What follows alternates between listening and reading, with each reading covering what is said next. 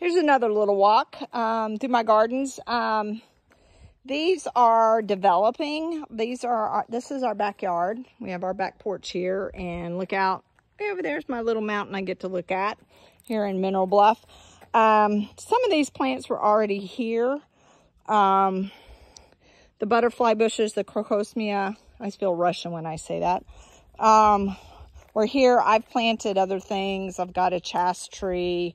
Um, I had a swamp hibiscus, Texas star. See, I've got snackers. And I ended up having to cage it. I do have another spout, uh, sprout coming up, if you can see it right there. I didn't think the deer would mess with it. And man, they chomped that thing. I was so disappointed. Uh, crabapple tree. This I do want to kind of get cleared. We had a tree that fell. We're going to get that ground eventually. Um, and I think as I was standing one day up on our back porch up there, I was looking out and I was like, this, what all the shrubbery, the growth wasn't here because it was in uh, late winter, early spring. And I go, oh my gosh, a new garden area. And I, I'll show you my, I'll do a video of my new garden area that I'm working on that my husband is like been rolling his eyes. Um, and I just literally took my hand and slapped myself.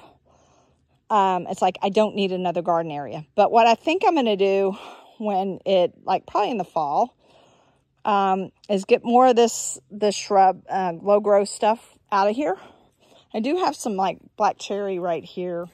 Um, and I think what I'm going to do, oh, look, can y'all see that? Little blue, uh, big blue jay just flew on.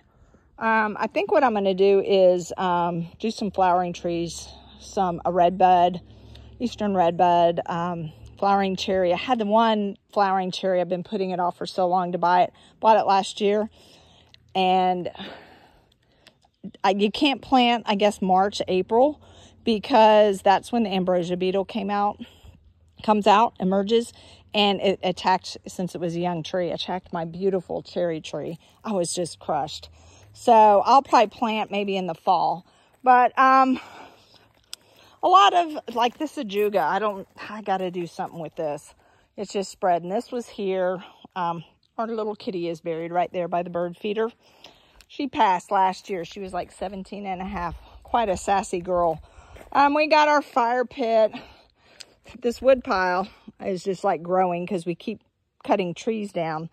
Um, but then this garden over here, here is the fence garden. If you didn't see that video, it's a little bit longer, so go watch it. Um, aren't these beautiful?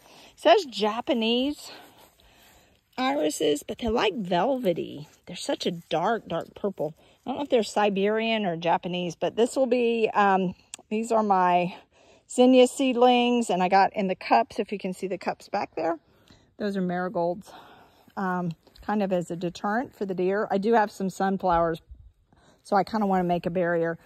Um, yeah, so some of this, the crocosmia is here, but a lot of it here I've planted. Um, I got a Fothergilla, um, sweet shrubs, um, beauty bushes, beauty berry bushes, a bunch of pollinator plants, tons of uh, milkweed uh, for Cynthia. It needs to be trimmed and the coreopsis underneath it needs to be moved. Um, we have a flower here called um, Sundrops, and those should be blooming soon. See, look, darn it. There's another one. That means it came all the way up here. We have a ring camera, but it's not ringing when they come up here. But look here. That's a, um, that is a goldenrod. They like the goldenrod. But this is a milkweed. Asclepias tuberosa is getting ready to bloom. And I tried asparagus for the first time. And this little ferny thing is um, first year's growth. So hopefully next year, I've been told we'll start to see it. Itea, sweet shrub, love that. Great pollinator plants, more milkweed, um, echinacea, liatris, coral vine, mallows, just a lot of things. I have some more straw flowers here, some little amaryllises.